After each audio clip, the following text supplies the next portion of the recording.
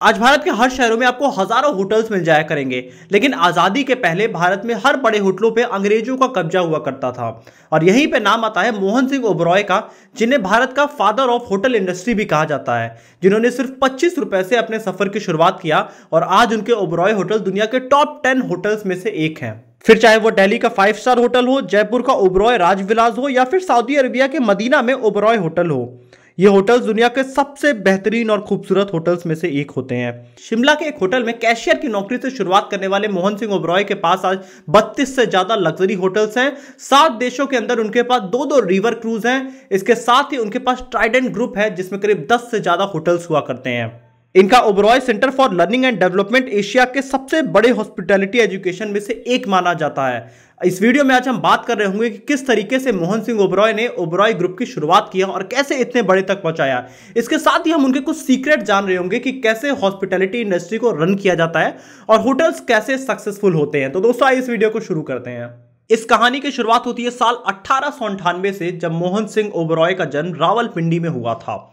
एक बेहद ही गरीब परिवार से बिलोंग करने वाले मोहन सिंह ओबरॉय ने बहुत ही मुश्किल से अपनी पढ़ाई रावलपिंडी में पूरी किया। इसके बाद उन्होंने हायर स्टडीज़ के लिए लाहौर जाने का सोचा और किसी तरीके से अपना ग्रेजुएशन पूरा किया। इस बीच उन्होंने कई बार जॉब करने का सोचा, लेकिन उनको कहीं भी अच्छी जॉब नहीं मिली। अपनी पढ़ाई पूरी करने के बाद उनको पहली जॉब मिलती है जूते की कंपनी में। लेकिन उनका समय इतना खराब था कि वो जूते की कंपनी भी बंद हो जाती है और उनकी जॉब हाथ से चली जाती है। उसी बीच एक बार मोहन सिंह ने अखबार में पढ़ा कि शिमला में एक सरकारी नौकरी का पद खाली है, जिसके लिए वो अपनी माँ से पच्चीस रुपए लेके वो शिमला चले जाते हैं। शिमला जाने पे वो कई बार कोशिश करते हैं, लेकिन वो जॉब उनको नहीं मिलती है। और कुछ दिन शिमला में समय बिताने के बाद उनकी नज़र सेसिल होटल पे पड़ती है, जो कि एक बेहद आलिशान होटल हुआ करता था। वो सीधा होटल में घुसते हैं और जाते हैं, मैनेजर से बात करते हैं कि उन्हें किसी तरह से कोई भी जॉब मिल जाए और उनको अपनी सबसे पहली जॉब वहीं पे मिलती है, पचास रुपए तनख्वाह पे उनको एक कैशियर की जॉब मिल जाती है। मोहन सिंह ओबरॉय एक बेहद ही ईमानदार इंसान थे और उन्होंने बेहद ईमानदारी से अपने काम को करना शुरू किया, जिसके बाद होटल मैनेजर ने खुश होकर उनको कई सारे कामों में भी लगाया। और इसी में सात साल बीत जाते हैं और साल उन्नीस में होटल के मैनेजर अंश क्लार्क ने अपना एक छोटा सा होटल खरीदा शिमला में ही। और उस होटल का नाम उन्होंने कार्टन होटल रखा, जिसका मैनेजर उन्होंने मोहन सिंह ओबरॉय का बनाया। इसके एक साल बाद क्लार्क छुट्टियाँ मनाने वापस अपने परिवार के साथ इंग्लैंड जाते हैं और अब होटल की पूरी ज़िम्मेदारी मोहन सिंह ओबरॉय के ऊपर आ जाती है। मोहन सिंह ओबरॉय अब तक होटल के बिज़नेस को बहुत अच्छे से समझ चुके थे और उन्हें पता चल चुका था कैसे होटल की ऑक्यूपेंसी को डबल करना है। उन्होंने कार्टन होटल की ऑक्यूपेंसी का डबल कर दिया और रेवेन्यू को भी डबल कर दिया। इसके बाद जब क्लार्क वापस लौट के आते हैं तो उन्होंने जब होटल का पूरा स्ट्रक्चर और रेवेन्यू देखा तो वो काफ़ी ज़्यादा प्रभावित हुए ओबरॉय से। इसके कुछ समय बाद अंश क्लार्क ने डिसाइड किया कि वो पूरी तरीके से इंग्लैंड जाके रहना चाहते थे, जिसके बाद उन्होंने मोहन सिंह ओबरॉय को एक प्रपोजल दिया कि आप पच्चीस हज़ार रुपए में ये होटल खरीद ले। मोहन सिंह ओबरॉय को यह प्रपोजल बहुत पसंद आता है, क्योंकि जिस होटल में उन्होंने काम किया है, अब वो उसी होटल को खरीदने वाले थे। उन्होंने अपनी बीवी के कुछ गहने बेचे, उन्होंने जाके अपनी जितनी भी प्रॉपर्टी थी वो सब बेचा, लेकिन उन्होंने पच्चीस हज़ार रुपए नहीं जोड़ पाए।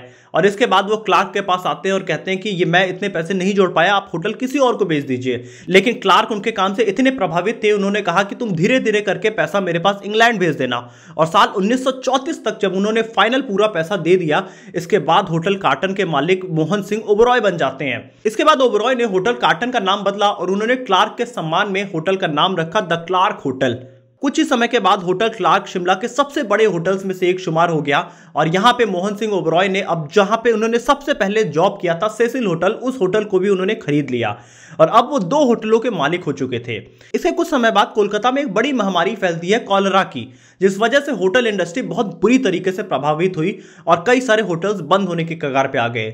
उसी समय कोलकाता में काफ़ी बड़ा होटल बिकने की कगार पे था द ग्रैंड होटल जिसमें करीब 500 कमरे हुआ करते थे। मोहन सिंह ओबरॉय ने इसको लीज पे करीब 20 सालों के लिए खरीदा। और इसके बाद साल 1946 में उन्होंने ओबरॉय पाम बीच होटल भी शुरुआत किया।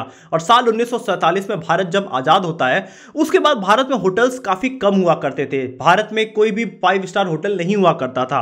यहाँ पे मोहन सिंह ओबरॉय भारत के बिज़नेस को समझ रहे थे। वो ये देख रहे थे कि बाहर से टूरिस्ट भारत में आते हैं, जिनको अच्छी सुविधा नहीं मिलती है। और यहीं से उन्होंने अपनी पहली ट्रेवल कंपनी भी शुरू किया, जिसका नाम था मर्कुरी ट्रेवल्स जिसमें वो बाहर से आने वाले टूरिस्ट को फ़्लाइट से लेकर एकोमोडेशन तक सारी हेल्प किया कर रहे थे। मोहन सिंह ओबरॉय अपने कस्टमर्स को एक अलग एक्सपीरियंस देना चाहते थे, जिस वजह से वो अलग अलग जगह पे वो नए नए होटल्स खोते जा रहे थे। यहाँ पे उन्होंने रियलाइज़ किया कि भारत के पैलेसेस में भी कई सारे होटल्स खोले जा सकते हैं, और यहाँ पे उन्होंने महाराजा हरि सिंह के होटल को खरीदा। यहाँ पे उन्होंने बीस साल के लीज पे करीब हर महीने पाँच की कीमत पे उन्होंने महाराजा हरि सिंह का होटल लीज पे ले लिया, और उस पैलेस को उन्होंने पूरी तरीके से होटल में कन्वर्ट किया, जो कि भारत का सबसे पहला पैलेस होटल था। इसके बाद मोहन सिंह ने रियलाइज़ किया कि भारत में जितनी भी फ्लाइट्स उड़ा करती हैं, उनमें अच्छा फ़ूड नहीं मिला करता है, जिसके बाद साल उन्नीस से उन्होंने अपनी केटरिंग सर्विस भारत के फ्लाइट्स में शुरू किया, जहाँ पे वो इंटरनेशनल लेवल का खाना अपने कस्टमर्स को प्रोवाइड कर रहे थे, जिस वजह से भारत की फ्लाइट्स में एक नए तरीके का लोगों को अनुभव मिलने लगा। और जितने भी ट्रेवलर्स फ़्लाइट से भारत आया करते थे, उनको अच्छा फ़ूड उन्होंने देना शुरू कर दिया। ये भारत का 1960 का वो दशक था, जब भारत में कोई भी फाइव स्टार होटल नहीं हुआ करते थे। और यहीं पे मोहन सिंह ओबरॉय ने भारत का सबसे पहला फाइव स्टार होटल दिल्ली में खोला। जिसका नाम उन्होंने ओबरॉय होटल रखा। इस फाइव स्टार होटल में करीब पाँच रेस्टोरेंट दो बार हेल्थ क्लब स्विमिंग पूल और फुल एसी हुआ करता था। यह भारत का सबसे पहला फाइव स्टार होटल बना। और इसके बाद मोहन सिंह ने भारत के बाहर भी कई सारे होटल्स खोलने शुरू किए। उन्होंने देखा कि पैलेसेस को काफ़ी इजिली कन्वर्ट किया जा सकता है होटल्स में, जिसकी डिमांड भी मार्केट में काफ़ी ज़्यादा है। जिस वजह से उन्होंने कलकत्ता में द ओबरॉय ग्रैंड खोला। इसके साथ ही उन्होंने कायरो में द हिस्टोरिक मीना हाउस खोला। इसके साथ ही उन्होंने ऑस्ट्रेलिया में द विंडसन नाम का एक बड़ा होटल बनाया। 1980 के दशक में मोहन सिंह ओबरॉय के बेटे बिकी ओबरॉय इस बिज़नेस को संभालते हैं और उन्होंने भारत के बिज़नेस में कई सारी कमियाँ देखी। उन्होंने रियलाइज़ किया कि भारत के जो पड़ोसी देश हैं, उन्होंने टूरिज़्म इंडस्ट्री को बहुत ही बखूबी समझा है और उन्होंने बहुत सारे एयरपोर्ट्स और अपने कंट्रीज़ में बहुत सारे टूरिज़्म स्पॉट्स बनाए हैं, जिस वजह से टूरिस्ट भारत तो आते हैं, लेकिन वो भारत से, भारत के नियर बाई कंट्रीज़ में अब ज़्यादा जाने लगे हैं, जैसे कि इंडोनेशिया इजिप्ट श्रीलंका नेपाल इन कंट्रीज़ में अब जाना शुरू हो चुके हैं। तो बिकी ओबरॉय ने इन कंट्रीज़ में अपना नेटवर्क बनाना शुरू किया और उन्होंने Indonesia, Australia, Nepal, Egypt, Sri Lanka, Iraq और सिंगापुर जैसे कंट्रीज़ में अपने ओबरॉय होटल्स बनाने शुरू किए। ताकि अगर टूरिस्ट भारत भी नहीं आता है, किसी और कंट्रीज़ में भी जाता है तो उनको वहाँ पर भी ओबरॉय होटल का वही लग्जरी ट्रीटमेंट मिला जा सके। यहाँ पे अब सबसे बड़ा क्वेश्चन उठता है कि इतने कम सालों में इतने सारे होटल्स कैसे ओबरॉय ग्रुप ने खोले? तो इनके कुछ बिज़नेस के सीक्रेट्स हैं। मोहन सिंह ओबरॉय हमेशा बिलीव किया करते थे कि आपको हमेशा बिज़नेस पे कॉस्ट कट नहीं करना है। आपको वेस्टेज कट करना है। क्योंकि अगर आप कॉस्ट कट करते हैं तो या तो आपका जो भी गेस्ट आ रहा है, वो से सफ़र करेगा, या तो आपके एम्प्लॉय सफ़र करेंगे। आपको वेस्टेज हटाना है। और यही करके उन्होंने बहुत सारे वेस्टेज अपने होटल इंडस्ट्री से खत्म कर दिए, जिस वजह से वो कम पैसों में एक अच्छा सोल्यूशन अपने कस्टमर्स को देना शुरू कर चुके थे। और इसके बाद इनकी स्ट्रेटेजी टू आती है, जिसमें वो कहते हैं कि अपने कस्टमर को आप कुछ भी खिलाते हैं या कोई भी ट्रीटमेंट देते हैं, उसकी आप डिटेल्स उसको बहुत ही डिटेल में बताइए। जैसे कि अगर कस्टमर को एक ऑमलेट ही चाहिए तो उस ऑमलेट को बनने के बाद उसमें हर एक डिटेल्स कस्टमर को पता होनी चाहिए, इसमें क्या क्या इंग्रीडियंट्स पड़ा है। या आप कस्टमर को कोई भी स्पा देते हैं तो उसकी भी सारी डिटेल्स कस्टमर को बखूबी आपको बताना ज़रूरी है। भले कस्टमर को सुनना हो, चाहे उसे नहीं समझना हो। इसके साथ ही इनका थर्ड प्रिंसिपल ये कहता है कि आपको हमेशा ये नहीं समझना है कि आप मार्केट में सबसे बेस्ट हो। आपको हमेशा और बेटर करते जाना है। जब भी आपके पास कोई गेस्ट आता है तो आपको उसको बेटर से बेटर ट्रीटमेंट करना है। इसके साथ ही कस्टमर को क्या प्रॉब्लम हो रही है, उसको एनालाइज करके नेक्स्ट कस्टमर के आने से पहले आपको वो फीडबैक को रिजोल्व कर देना है।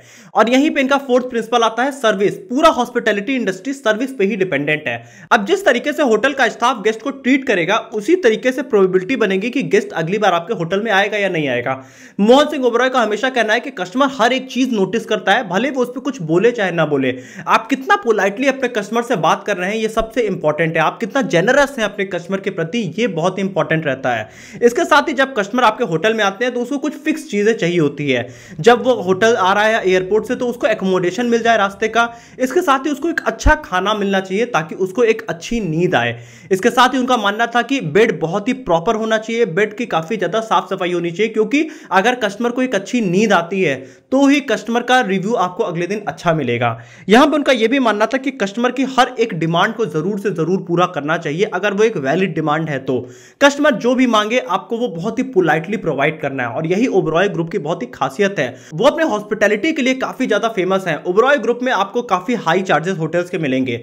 लेकिन ये बहुत ही प्रीमियम कस्टमर्स को अपने सर्व किया करते हैं। इनके कस्टमर अगर एक बार ओबरॉय होटल में आ जाते हैं तो वो बार बार कहीं भी जाता है तो वो ओबरॉय होटल ही चूज़ करता है, क्योंकि इनकी सर्विस बहुत ही शानदार है। ये बहुत ही पोलाइटली अपने गेस्ट से बात करते हैं। एक बार गेस्ट आ गया तो फिर वो हमेशा ही इनका होकर रह जाता है, क्योंकि वो इतनी अच्छी सर्विस देते हैं गेस्ट को भगवान की तरह माना करते हैं।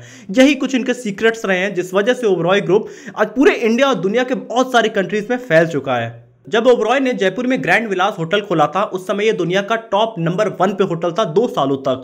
और उस समय इनका यह मानना था कि हमेशा हमको और बेटर करते जाना है। यहाँ पे ओब्रॉय ग्रुप यहाँ तक ध्यान देता है कि उनके होटल का जो स्टाफ है, उसके यूनिफॉर्म कैसे हैं, उसके शूज़ कैसे हैं। अगर कमरे में एस्ट्रे भी रखा है सिगरेट बुझाने के लिए तो वो भी बिल्कुल प्रॉपर साफ़ सफ़ाई के साथ होना चाहिए, क्योंकि कस्टमर उसको नोटिस ज़रूर करता है। ये सारे कुछ सीक्रेट्स इनके रहे हैं इनकी कंपनी में, जिस वजह से ये इस बिज़नेस को काफ़ी आगे ले गए। यहाँ पे मोहन सिंह ओब्रॉय में एक और बहुत ही खासियत थी, वो अपने बहुत सारे एम्प्लॉयज़ को नाम से जाना करते थे। उनका ये कहना था कि अगर आपके अपने लोगों का आप ध्यान नहीं रखते हैं तो वो आपके कस्टमर्स का कभी भी ध्यान नहीं रख पाएगा, और इसी तरीकों की वजह से आज ओब्रॉय ग्रुप नौ करोड़ से ज़्यादा का बड़ा हो चुका है। तो यहाँ पर अगर हम इस केस स्टडी को समराइज करें तो मोहन सिंह ओब्रॉय ने सबसे इंपॉर्टेंट एक चीज़ पर ध्यान दिया कि जब मेरा गेस्ट आता है और जब वो चला जाता है, इस बीच के पूरे प्रोसेस में हमें कस्टमर की हर एक ज़रूरत का ध्यान रखना है। कस्टमर को जितना बेटर हम सेटिस्फाई करेंगे, उतना ज़्यादा कस्टमर का दोबारा आने का चांसेस बढ़ जाएगा। और इसी एक सीक्रेट फॉर्मूला की वजह से उन्होंने इतना बड़ा ओबरॉय ग्रुप बनाया। आप कमेंट ऑप्शन में लिख के बताइए कि आपको भारत का सबसे अच्छा होटल कौन सा लगा करता है। बेशक आपको ताज होटल लगेगा, क्योंकि टाटा ग्रुप ने इसे बहुत बड़ा होटल भारत को उस समय बनाया जिस समय भारत में अच्छे होटल्स नहीं हुआ करते थे। अगर आपको ताज ग्रुप पे भी एक केस स्टडी चाहिए तो आप कमेंट ऑप्शन में ज़रूर लिख के बता सकते हैं। वीडियो अच्छी लगी तो वीडियो को ज़रूर लाइक करिएगा। आप कमेंट ऑप्शन में अपनी बिज़नेस लर्निंग ज़रूर लिख के बताइएगा और चैनल को आप सब्सक्राइब भी कर सकते हैं।